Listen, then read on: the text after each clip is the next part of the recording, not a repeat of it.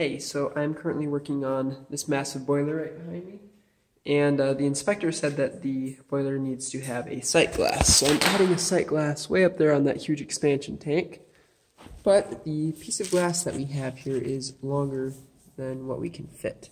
Um, I measured up there and figured that we need it to be exactly 16 inches and 3 eighths. A little scratch in the paint is our mark. And there are a couple different ways that you can cut this. Like I've seen where people use a, a triangular file and they file it and then gently snap it. All I have with me is a small glass cutter. But these, these can also work. So we're going to go ahead and use this to cut the tubing. So we have our glass cutter here and our goal is to just make a little score in the glass using the wheel on here.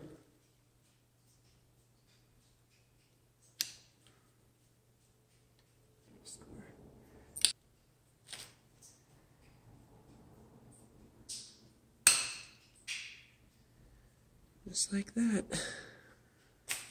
Just use really gentle pressure when you're actually breaking it. And it's still a little bit sharp, but not too bad, and these sight glasses make a seal around this edge. This side, as you can see, has been heated. First, before we go up there, we're going to put the parts on that are needed to make the seal. First, we've got our packing nut that slides in. Then there's a little metal washer that goes on next. And then our rubber packing goes right there. And that's going to tighten on and make the seal around this outside of the glass. This is the bottom fitting. The bottom fitting has a drain on it, and the top fitting does not. What you want to do is get your bottom fitting tightened in so that it's facing perfectly up. And you want your other one to be tightened in until it's at about a 5 o'clock position so that you can stick the glass up into there and then tighten it just that last bit and then drop it down into the lower fitting. This top one allows you to stick the glass in pretty far. This bottom one only allows you to drop it in like a quarter inch.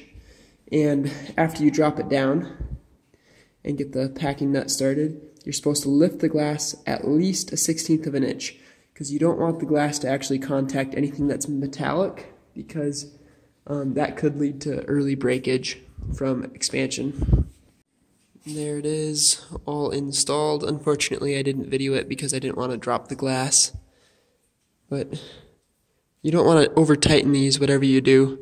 So it's better to tighten them a little bit less, let water into the system, see if they leak. If they do leak, then tighten them a quarter turn at a time, making sure you're checking in between tightening to make sure that they have all tightened okay but I think it looks pretty good.